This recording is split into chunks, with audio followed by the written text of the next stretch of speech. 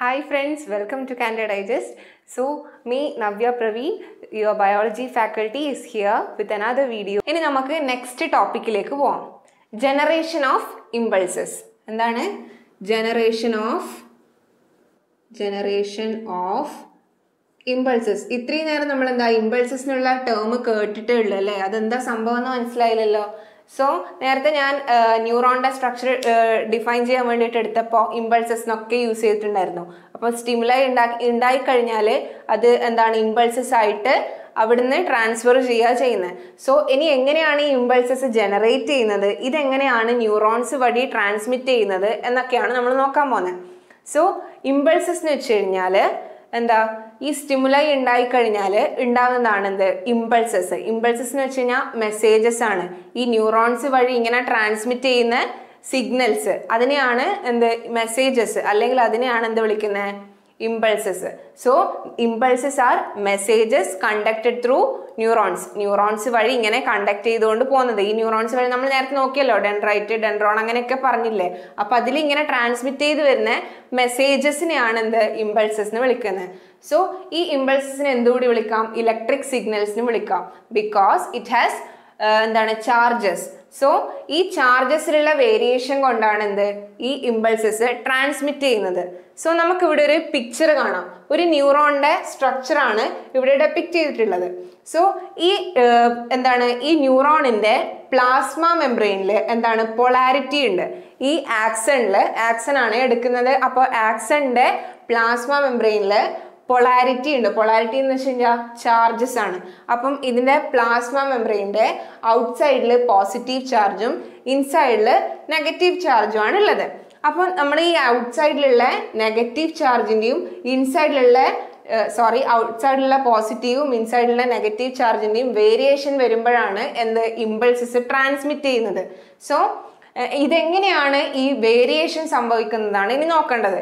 അപ്പം ഇപ്പം എന്നെ ഒരാൾ ഇവിടെ ടച്ച് ചെയ്ത് കഴിഞ്ഞാൽ ഇവിടെയുള്ള ന്യൂറോണിൽ എന്താ എന്നെ ഇപ്പം ടച്ച് ചെയ്തു. അപ്പം ഇവിടെയുള്ള എന്റെ കയ്യിലെ ന്യൂറോൺസിന്ന് എന്താണ് പ്ലാസ്മ മെംബ്രെയിനിൽ പൊളാരിറ്റി ചേഞ്ച് ചെയ്യും.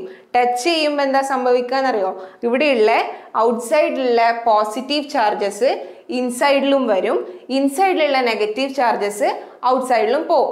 ഇതാണ് കണ്ടിന്യൂസ് ആയിട്ട് ഇങ്ങനെ നടന്നുകൊണ്ടിരിക്കുന്നത് അപ്പം ഒരു ഇമ്പൾസ് ഇപ്പം ഇവിടുന്ന് അടുത്ത സ്റ്റേജിലേക്ക് പോകുമ്പം അവിടെ ഉള്ളത് ഇങ്ങനെ മൊമെന്ററിലി ഇത് ചേഞ്ച് ചേഞ്ച് ചെയ്തുകൊണ്ടിരിക്കും അപ്പം ഇവിടെയുള്ള ഈ ഇക്വിലിബ്രിയമാണ് ചേഞ്ച് ആവുന്നത്. സോ എന്താണ്? ഇമ്പൾസസ് എന്താണ് ചെയ്യുന്നത്? ഈ പൊളാരിറ്റി പ്ലാസ്മ മെംബ്രെയിനുള്ള പൊളാരിറ്റീനെ ചേഞ്ച് ചെയ്യും. അപ്പം ഞാൻ പറഞ്ഞു ഇതിങ്ങനെ മൊമെന്ററിലി ഇങ്ങനെ ചേഞ്ച് ചെയ്തുകൊണ്ടിരിക്കുകയാണ് ഇമ്പൾസസ് ട്രാൻസ്മിറ്റ് ചെയ്യുമ്പം ഒരു സ്ഥലത്തുള്ള പോസിറ്റീവ് ചാർജ് എന്താ? അവിടുത്തെ അയോൺസിന്റെ ഡിസ്ട്രിബ്യൂഷനിൽ ചേഞ്ച് വരികയാണ്. അപ്പം അങ്ങനെയാണ് ഇത് ട്രാൻസ്മിറ്റ് ചെയ്തുകൊണ്ടിരിക്കുന്നത്. പക്ഷേ ഈ ചേഞ്ച് എന്താണ്? അത് എല്ലാ എന്താ ഇറ്റ് പേഴ്സ് ഇറ്റ് ഡസ് നോട്ട് പേഴ്സിസ്റ്റ് അത് എന്താ ഒരു ലോങ് ടേം ആയിട്ട് പേഴ്സിസ്റ്റ് ചെയ്ത് നിൽക്കുന്ന ഒന്നല്ല. അത് വീണ്ടും അതിന്റെ ഒറിജിനൽ പൊസിഷനിൽ റീഗെയിൻ ചെയ്യും. സോ ഇങ്ങനെയാണ് ഇമ്പൾസസ് ജനറേറ്റ് ചെയ്യുന്നതും എന്താണ് അത് ട്രാൻസ്മിറ്റ് ചെയ്യുന്നത്. സോ ഒന്ന് കൺക്ലൂഡ് ചെയ്ത് പറഞ്ഞു കഴിഞ്ഞാൽ സ്റ്റിമുലൈ ആണ് ഇമ്പൾസസിനെ ഉണ്ടാക്കുന്നത് stimuli evoke changes even the polarity of the plasma membrane changes നമ്മളിപ്പം ഒരു ന്യൂറോണിൽ നിന്ന് എങ്ങനെയാണ് ഇമ്പൾസസ് ട്രാൻസ്മിറ്റ് ചെയ്തു പോകുന്നതെന്നാണ് പറഞ്ഞത്. അപ്പം ഇത് ബ്രെയിനിലേക്ക് എത്തിയിട്ട് നമ്മുടെ ആ ഫങ്ഷൻ നടക്കണമെങ്കിൽ ഇതെന്താവണം? ബ്രെയിനിലോട്ടേക്ക് എത്തണം അല്ലേ അപ്പം ഓരോ അഡ്ജസന്റ്ലി ന്യൂറോൺസിന്റെ ന്യൂറോൺസ് വഴി എന്താ? ഇമ്പൾസസ് ട്രാൻസ്മിറ്റ് ചെയ്യണം. അപ്പം നമ്മളിപ്പം ജസ്റ്റ് എന്താ? ഒരു ന്യൂറോണിൽ എങ്ങനെയാണ് പൊളാരിറ്റിയിൽ ചേഞ്ച് വന്നിട്ട് ഇമ്പൾസസ് ട്രാൻസ്മിറ്റ് ചെയ്യുന്നതെന്ന് മാത്രമാണ് പറഞ്ഞിട്ടുള്ളത്. സോ നമുക്ക് രണ്ട് ന്യൂറോൺസ് വഴി എങ്ങനെ ഇമ്പൾസസ് ട്രാൻസ്മിറ്റ് ചെയ്യുന്നത് നോക്കാം. ഇപ്പം സപ്പോസ് ഇതാണ് ഒരു ന്യൂറോൺ എങ്കിൽ ഇതിന്റെ സിനാപ്റ്റിക് നോബ് ഈ ന്യൂറോണിന്റെ അഡ്ജസ്റ്റന്റ് ആയിട്ടുള്ള ന്യൂറോണിന്റെ ഡെൻഡ്രൈറ്റു ആണ് ആയിട്ടാണ് കണക്ട് ചെയ്തിട്ടുള്ളത്. സോ ഈ ഒരു സിനാപ്റ്റിക് നോബും അല്ലെങ്കിൽ ഈ ഡെൻഡ്രൈറ്റും തമ്മിലുള്ള ഈ ഒരു ഗ്യാപ്പിനെയാണ് എന്ത്? സിനാപ്സ് എന്ന് പറയാം. So synapse is the junction between two neurons രണ്ട് ന്യൂറോൺസ് തമ്മിലുള്ള ജംഗ്ഷനോ അല്ലെങ്കിൽ neuron and a muscular cell അല്ലെങ്കിൽ ഒരു neuron and a glandular cell ഇതാണ് സിനാപ്സ് ഈ രണ്ട് എന്താ സിനാപ്റ്റിക് നോബിന്റെയും ഡെൻഡ്രൈറ്റിന്റെ ഇടയിലുള്ള ഈ ഒരു ഗ്യാപ്പിനെയാണ് സിനാപ്റ്റിക് ക്ലെഫ്റ്റ് എന്ന് പറയാം. നേരത്തെ നമ്മൾ ന്യൂറോണിന്റെ സ്ട്രക്ചർ ഡിഫൈൻ ചെയ്തപ്പോൾ പറഞ്ഞതാണ് synaptic knob releases certain neurotransmitters അപ്പോൾ ഈ ന്യൂറോ ട്രാൻസ്മിറ്റേഴ്സ് എവിടെയാണ് റിലീസ് ചെയ്യുന്നത് സിനാപ്റ്റിക് ക്ലെഫ്റ്റിലാണ് ന്യൂറോ ട്രാൻസ്മിറ്റേഴ്സ് റിലീസ് ചെയ്യുന്നത്. ഈ ന്യൂറോ ട്രാൻസ്മിറ്റേഴ്സിന്റെ എക്സാമ്പിളാണ് ഡോപ്പമിൻ എസറ്റൈൽ കൊളൈൻ ഇതൊക്കെ എന്താ? ന്യൂറോ ട്രാൻസ്മിറ്റേഴ്സിന്റെ എക്സാമ്പിൾ ആണ്. ഒന്നുകൂടി കൺക്ലൂഡ് ചെയ്ത് പറയുമ്പം എന്താണ് സിനാപ്സ് എന്ന് പറഞ്ഞു കഴിഞ്ഞാൽ ജംഗ്ഷൻ ബിറ്റ്വീൻ ടു ന്യൂറോൺസ് ആണ്. അതെന്താണ്? ഇമ്പൾസസിന്റെ ട്രാൻസ്മിറ്റ് ചെയ്യാൻ വേണ്ടിയിട്ട് അതിന്റെ ആ സ്പീഡിനെയൊക്കെ റെഗുലേറ്റ് ചെയ്യും. അപ്പം ഈ സിനാപ്റ്റിക് ലെഫ്റ്റ് സിനാപ്റ്റിക് ലെഫ്റ്റ് എന്താ? ആ രണ്ട് എഡ്ജസ് ന്യൂറോൺസ് തമ്മിലുള്ള ആ ഒരു ഗ്യാപ്പാണ് സിനാപ്റ്റിക് ലെഫ്റ്റ് അവിടെ എന്താ ന്യൂറോ ട്രാൻസ്മിറ്റേഴ്സ് റിലീസ് ചെയ്യുന്നുണ്ട്? ഈ ന്യൂറോ ട്രാൻസ്മിറ്റേഴ്സ് എന്താ ചെയ്യുന്നത് ന്യൂറോ ട്രാൻസ്മിറ്റേഴ്സ് വന്ന ഇമ്പൾസസിനെ സിനാപ്റ്റിക് നോബിലൂടെ വന്ന ഇമ്പൾസസിനെ എന്താ എഡ്ജസന്റ് ന്യൂറോണിന്റെ ഡെൻഡ്രൈറ്റിലോട്ട് കയറാൻ വേണ്ടിയിട്ട് ഹെൽപ്പ് ചെയ്യും. അതിന്റെ എക്സാമ്പിൾസ് ആണ് ഡോപ്പമൈനും അസറ്റൈൽ കൊളൈനും. ഇമ്പൾസസിന്റെ ഡയറക്ഷൻ അനുസരിച്ചിട്ട് ന്യൂറോൺസിനെ രണ്ടായിട്ട് ക്ലാസിഫൈ ചെയ്തിട്ടുണ്ട്. സോ ഇമ്പൾസസിന്റെ ഡയറക്ഷൻ അനുസരിച്ചിട്ട് ന്യൂറോൺസിനെ എന്താ രണ്ടായിട്ട് ക്ലാസിഫൈ ചെയ്തിട്ടുണ്ട്.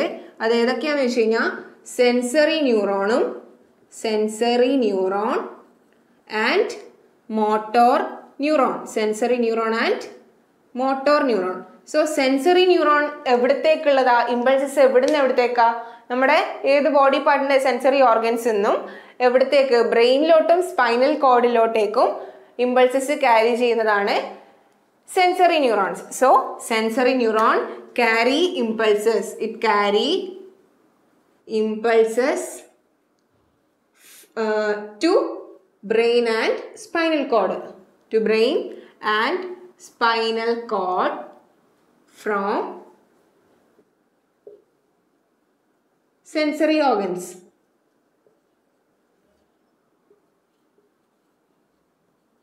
so ഇത് ബ്രെയിനിലോട്ടും സ്പൈനൽ കോഡിലോട്ടേക്കും ആണെങ്കിൽ ഇതിന്റെ ഡയറക്ഷൻ ഇമ്പൾസസിന്റെ ഡയറക്ഷൻ നേരെ ഓപ്പോസിറ്റ് ആയിരിക്കൂലേ? അപ്പം ഇതിന്റെ ഡയറക്ഷൻ എങ്ങോട്ടേക്കാ? ബ്രെയിനിലോട്ടും സ്പൈനൽ കോഡേക്കും അപ്പം motor neuron carries impulses carries impulses from brain and from brain and spinal cord. So ഇത് മാറി പോകാൻ പാടില്ല. സെൻസറി ന്യൂറോൺ ഇവിടെ ടു ആണ്. To brain and spinal cord ആണ്. And motor neuron carries impulses from from brain and spinal cord next പോകുന്നത് nerves എന്താണെന്ന് നോക്കുന്നത് സോ നെർവ്സ് നെർവ്സ് എന്താ? Nerves are group of axons or nerve fibres nerves എന്താണ്? ഒരു nerve ഫൈബേഴ്സിന്റെ nerve ഫൈബേഴ്സിന്റെ ഗ്രൂപ്പിനെയോ അല്ലെങ്കിൽ ആക്സൺസിന്റെ ഗ്രൂപ്പിനെയാണ് എന്ത് nerves എന്ന് വിളിക്കുന്നത്. Nerves are covered by connective tissue connective tissue വെച്ചിട്ട് എന്താ ഈ നെർവ്സ് എൻസർക്കിൾ അല്ലെങ്കിൽ കവർ ചെയ്തിട്ടുണ്ട്. സോ നെർവ്സ് എന്താണ്? Group of nerve fibres or axons and these nerves are covered by connective tissue ഇനി നമുക്ക് ഈ നെർവ്സിനെയും ക്ലാസിഫൈ ചെയ്യാം. നേരത്തെ നമ്മൾ ന്യൂറോൺസിനെയാണ് ക്ലാസിഫൈ ചെയ്തത്. അതുപോലെ തന്നെ നമുക്കിവിടെ നെർവ്സിനെയും ക്ലാസിഫൈ ചെയ്യാം. നെർവ്സ് എന്താണ്? ത്രീ ടൈപ്സ് ആയിട്ടാണ് ക്ലാസിഫൈ ചെയ്തിട്ടുള്ളത്. ഫസ്റ്റ് വൺ വന്നിട്ട് sensory nerve sensory nerve first ആണ് sensory nerve so sensory nerve എന്തുകൊണ്ടാണ് കമ്പോസ് ചെയ്തിട്ടുള്ളത്? Sensory nerve fibres it is composed of sensory nerve fibres so നേരത്തെ നമ്മൾ പറഞ്ഞു സെൻസറി ന്യൂറോൺസ് എവിടത്തേക്കാണ് ഇമ്പൾസസ് ട്രാൻസ്മിറ്റ് ചെയ്യുന്നത് from sensory organs to brain and spinal cord അതുപോലെ തന്നെ സെൻസറി നെർവും ബ്രെയിനിലോട്ടും സ്പൈനൽ കോഡിലോട്ടേക്കുമാണ് ട്രാൻസ്മിറ്റ് ചെയ്യുന്നത് ഇനി നെക്സ്റ്റ് എന്താ? മോട്ടോ നെർവാണ് സെൻസറി നെർവും മോട്ടോർ നെർവും മോട്ടോ നെർവ് എന്താ? Motor nerve it is composed of motor nerve fibres sensory nerve എന്താണ്? സെൻസറി നെർവ് ഫൈബേഴ്സ് ആയിട്ടാണ് കമ്പോസ് ചെയ്തിട്ടുള്ളത്. അപ്പം motor nerve motor nerve fibres motor nerve fibres sensory nerve ബ്രെയിനിലോട്ടും spinal കോട്ടേക്കും ആകുമ്പോൾ മോട്ടോർ നെർവ് എവിടുന്ന് എവിടത്തേക്കാ? ബ്രെയിനിൽ സ്പൈനൽ കോഡിൽ നിന്നും ക്യാരി ചെയ്തിട്ട് എന്താ വേരിയസ് പാർട്സ് ഓഫ് ദി ബോഡിയിലോട്ടേക്ക് എത്തിക്കും. ഇനി next one three types of classification ആണ്. അപ്പം തേർഡ് വൺ എന്താ? മിക്സ്ഡ് നെർവ് മിക്സ്ഡ് നെർവ് എന്ന് വെച്ച് കഴിഞ്ഞാൽ എന്താ?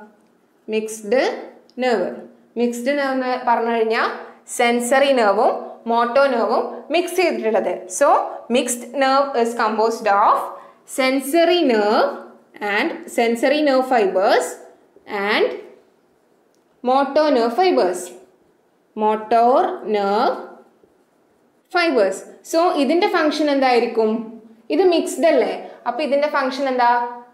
രണ്ടും കൂടി ആഡ് ചെയ്തിട്ടുള്ളതായിരിക്കും. അത് ടു ആൻഡ് ഫ്രോ ആയിട്ടാണ്. ടു ആൻഡ് ഫ്രോം ആണ്.